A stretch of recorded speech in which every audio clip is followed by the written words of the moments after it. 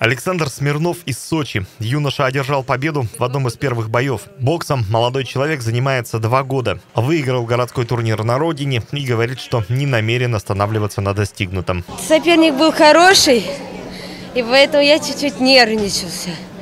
Точнее, нервничал, а а потом собрался и стал слушать тренера.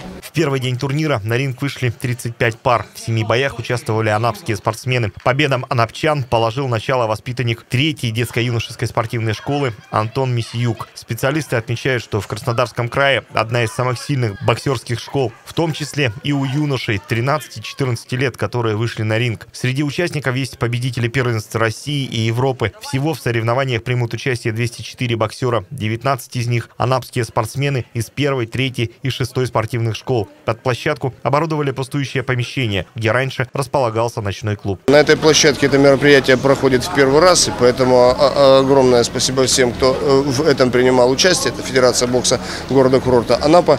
Вот. По, по лицам присутствующих видно, что всем нравится. Здесь да, светло, уютно, торжественно.